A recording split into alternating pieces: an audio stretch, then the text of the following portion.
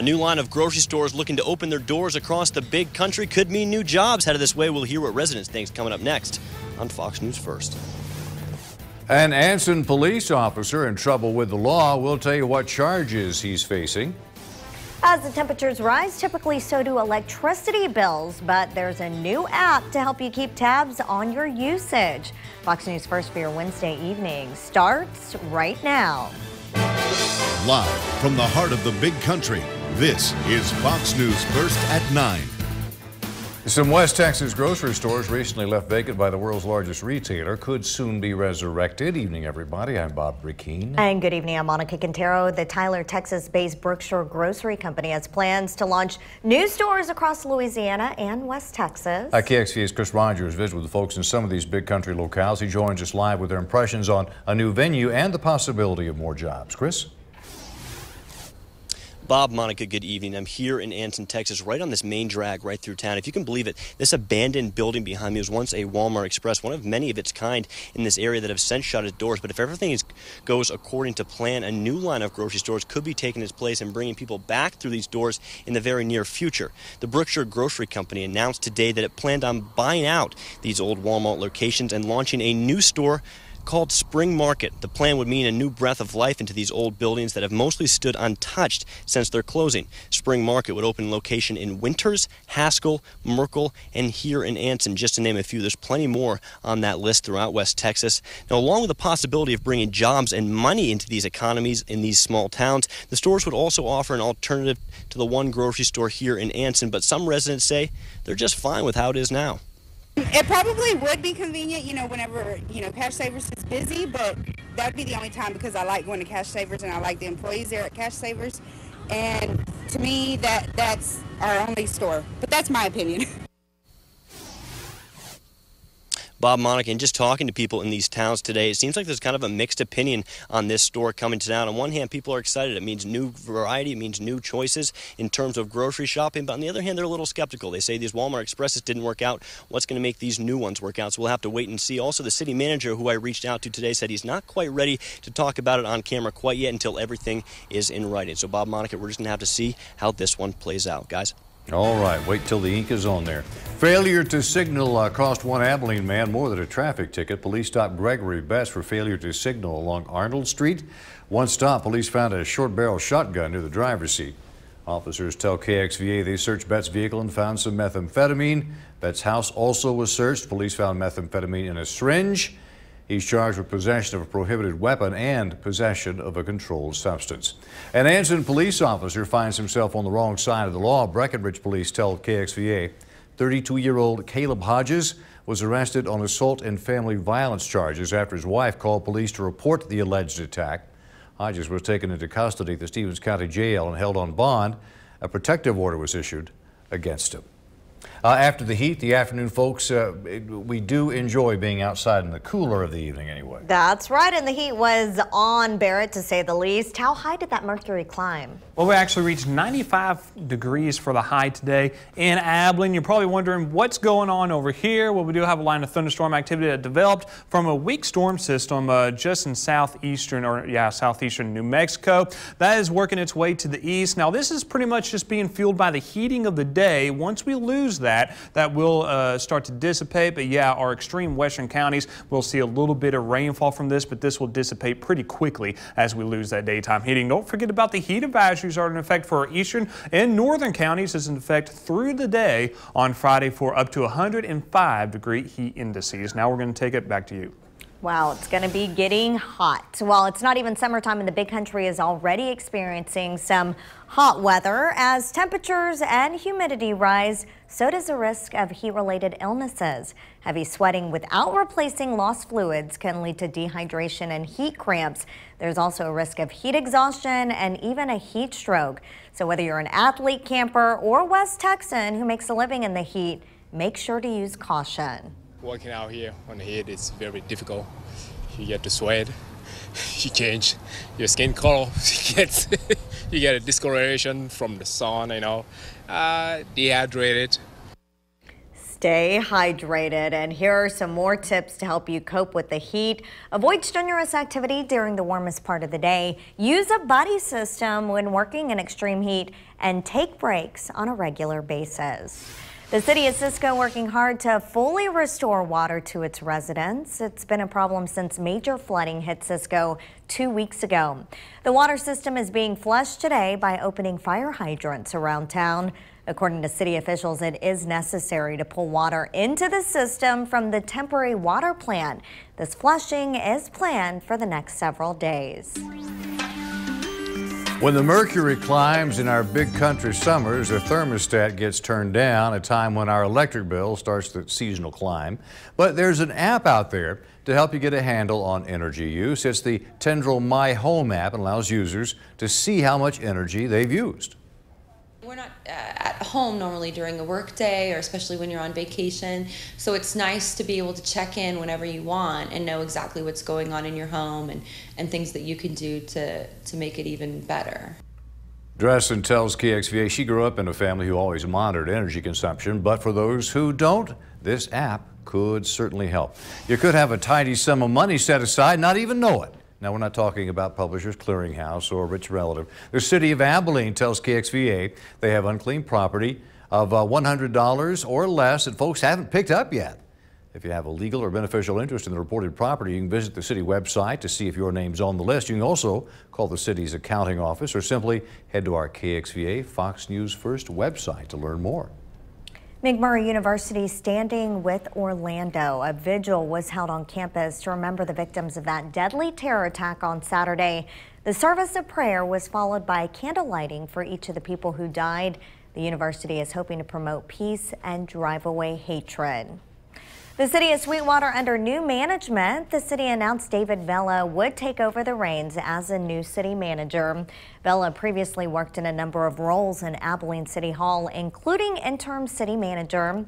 He will become only the third Sweetwater city manager in the last three decades. Straight ahead on Fox News First, a little girl is lucky to be alive after a shark attack off Galveston Island. A nurse just happened to be nearby as the situation unfolded. It's an incredible story you'll want to hear when Fox News First continues. Also, we do have a couple high uh, pollen counts out there. The grass is in the high level, mold is as well, but the weed and tree doing just fine. I'll have the rest of the forecast coming up right after the break.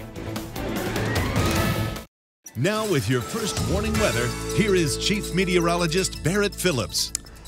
Skycam looking to the west, and you can see some of that cloud cover from those thunderstorms that I just uh, showed you all in the first weather. Currently temperature at 84 degrees, dew point 67 degrees. That's why it was quite muggy out there. In fact, earlier this afternoon, we were in the lower 70s with that dew point. Relative humidity at 56 degrees. Southeast wind has lightened up at around uh, 8 to 10 miles per hour. This is the heat indices. You know, it's 9 o'clock in the evening, still right around 100 degrees for the feels like temperature in Throckmorton, Breckenridge, 87, not quite as bad in Abilene, also to the west and to the south, where we have some upper 80s to lower 90s for this evening. Now, for tonight, like I said, that will fizzle away pretty quickly once we lose the heating. It may get as far east as about Roby to Sweetwater, but I'm not expecting it to get any further east than that. So partly cloudy conditions on average for the rest of us tonight. Tomorrow morning, waking up to some partly cloudy skies possible uh, along and south of I-20, mostly clear skies to the north of that, leaving for some mostly sunny conditions for tomorrow afternoon. No chance of precipitation for tomorrow. Mostly clear skies tomorrow night. And then on Friday, continue muggy and humid as well. Remember those heat uh, advisories will still be in effect for northeastern five counties from Throckmorton County all the way down to Comanche County. During the day on Friday, you notice some mostly sunny skies and uh, also dry conditions once again. Mostly sunny skies, dry conditions tomorrow, 95 degrees to end out your day. 96 will be the high, 97, 99 on Saturday. Remember uh, during this uh, warm, humid couple days left. Uh, drink plenty of water and also you will want to take about a five minute break after every 30 minutes working outside. And when you do take that break, take that break in the shade. The body of a child snatched by an alligator at a Disney resort has been found. That boy has been identified as two-year-old Lane Graves of Elkhorn, Nebraska. Officials say the youngster was walking in ankle-deep water at a Disney resort in Orlando last night when a gator grabbed him. Several gators have now been captured and euthanized. The hope is to find the one that killed the little boy. Searchers say the child's body was intact. It was found near where he was pulled in. Disney is closing all lakeside beaches as their investigation continues. Galveston Island records its first shark attack of the year. A young girl bitten Tuesday afternoon. Uh, the shark bit the little girl while she was in knee deep water with her dad. Fortunately, a nurse happened to be nearby with her family. She got creative to help the little girl with her injuries. Stephanie Whitfield from our sister station in Houston explains. This area along Pirates Beach in Galveston is where six year old Marin Melton was bitten by a shark Tuesday. They were just doing what we were doing. She was in her little pink inner tube and they were just swimming and hanging out and enjoying the beach. That's when Allie Curry says she heard the little girl scream. I'm an oncology hospice nurse, but I just, you know, saw the blood and I saw the panic and it just kind of instincts hit. And her instincts were to tie a tourniquet. Her tools, an iPhone cord and a dog leash. That was, you know, our only action of plan here on the beach. You know, we don't have anything, so we took some water and cleaned it off and wrapped it with a clean towel and just prayed for the best. The six year old's dad, who works as a pastor in Kerrville, says they're at UTMB Hospital. He sent us a statement saying Marin is stable and maintains a gracious, positive attitude. Her vital signs are good. We are grateful to God for his sustaining grace, even in the midst of pain and suffering. She was bit probably about mid calf. Paramedics say the tourniquet may have saved the girl's leg. It's going to be a long journey, but she she's the strong one. Relatives tell us Marin still has several surgeries ahead of her, so they're asking for as many prayers as they can get. A flour recall is causing a domino effect across some big names in the food biz. Kellogg is concerned some snack and cookie products might have undeclared peanut residue. The recall stems from a previous recall by Kellogg's flour supplier. That flour was used in brand names Mother's, Keebler, Kellogg, Special K, Murray, and Famous Amos snacks and cookies. For a full list of the affected products and their expiration dates, head to our myfoxzone.com website. Home Depot is the latest retail giant to raise concerns about the security of payment cards with chip technology. The big box retailer filing a federal lawsuit accusing Visa and MasterCard of using security measures that are prone to fraud, putting it and other retailers at risk of hacking attacks by cyber thieves. Home Depot says the cards rolled out in the U.S. in recent years are less secure than cards used in Europe and elsewhere in the world. Last month, Walmart sued Visa over similar issues. If you're going through a difficult time, a PTSD, extreme loss, there's something that can help. It's a new app meant to connect people and provide comfort. More on that next on Fox News First. You're watching KXVA Fox Abilene with Bob Brackeen, Monica Quintero, Chief Meteorologist Barrett Phillips, and Sports Director Manny Diaz. This is Fox News First at 9. We get so caught up talking mosquitoes and West Nile or Zika virus and tend to put on the back burner how the little bloodsuckers can affect our pets' health. Record spring rains mean there are more than enough mosquitoes to cover all of those concerns. The bugs can spread heartworms, a deadly parasite that affect both cats and dogs. Veterinarians say the best way to protect pets is with a monthly preventative. In the long run, it's also more affordable than treating an animal with heartworms. The oral medication um, is about $100. As far as treatment, that can run anywhere from, you know, upwards to $1,000. Because mosquitoes follow us inside our homes, it's crucial to give indoor and outdoor pets preventatives. A North Texas man using technology to offer support to people with chronic illnesses. It's called Reach Out and it's free. It launched in March, already has more than 2,000 users. Sonia Azad explains. I went looking for support. Sunil Modi is a tech guy, but when heart disease struck in his family, he had a lot of questions. Oftentimes, when people are going through these diseases, they feel very uh, lonely, depressed. So he came up with Reach Out. It lets them connect with people who are going through the exact same thing as they are.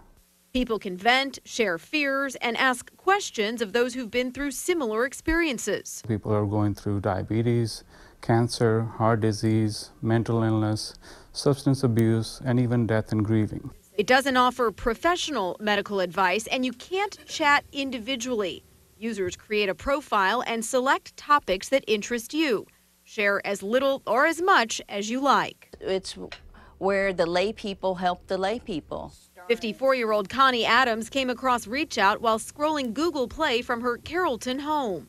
From a car accident, I have PTSD and a traumatic brain injury. It's offering her a system of support she says didn't exist. I lost my family, I lost my friends, and people just don't understand when you look fine on the outside that the, the inside is what's things are going on.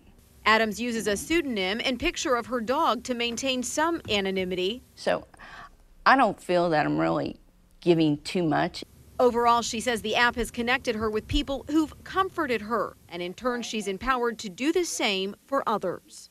You know, if I can help one person, then it's worth everything. That was Sonia Izaldo reporting. Stay with us. Sports is coming up next. Now, with your local sports, here's Sports Director Manny Diaz. Well, for football coaches across Texas, it's the chance to pick the brains of the best in college and high school football. The Angelo Coaches Clinic. Today was day two with a number of Big 12 and SEC coaches like TCU's Gary Patterson hitting the stage. The Frogs ball coach talked TCU philosophy this afternoon, but not before he shed some light on the Big 12's new championship game and what it means to his squad moving forward in year three of the college football playoff. I thought when we went to this whole committee thing is that they would pick the, the four best teams without having to do championship games, without having to do playoffs, without having to do everything. For me, two years ago, felt like that, you know, you're maybe one of the four best teams that you're playing. So the best way to control everything is to control yourself, and that's to not lose. And so TCU, that's what our goal's been, and we're going to keep striving to do is to be one of those teams and get where we need to get to. Well, in terms of Big 12 conference expansion, Patterson added his theory is do what it takes to get into the college football playoff. Meanwhile, former Cooper assistant and Texas offensive coordinator Sterling Gilbert was among the keynote speakers today. As a one-time high school and college quarterback, Gilbert knows a thing or two of what goes into choosing a solid guy under center. With it being his first year in Austin, well, he has a pretty tough decision to make in who will take the reins of the Horns offense next fall. You know, now Heard will be back in the mix since he got banged up early on in spring ball. But all three of those guys have done a really good job, you know, with Heard, Buechele, and Swoopes. Uh, you know, so they all have three different things, you know, they kind of bring to the table, but, you know, it's still an open competition.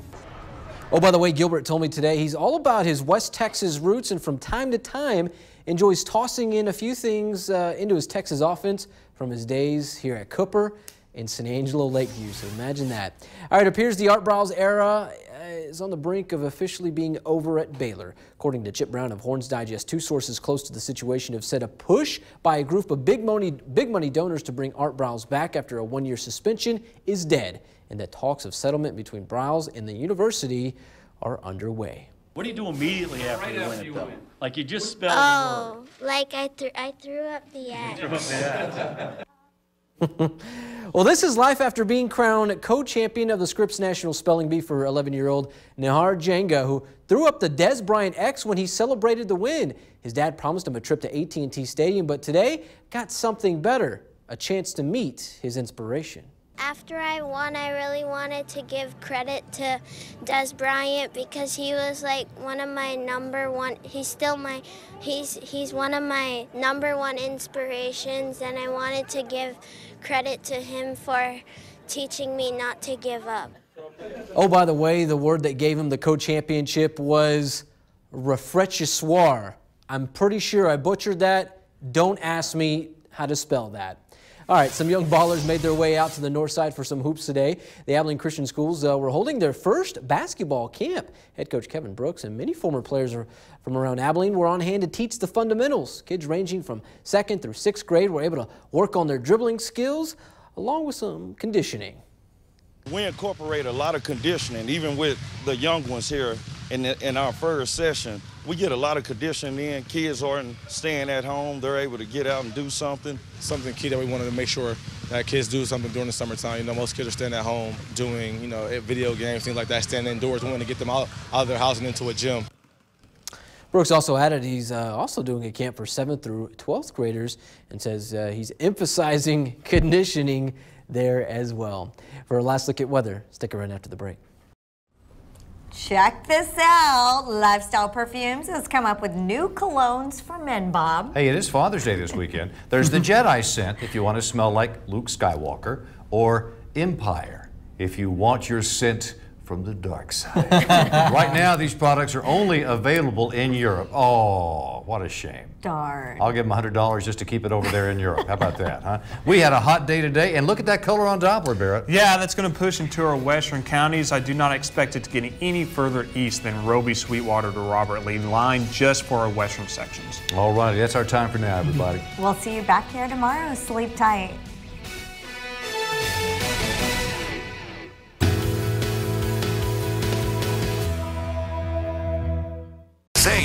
At Brown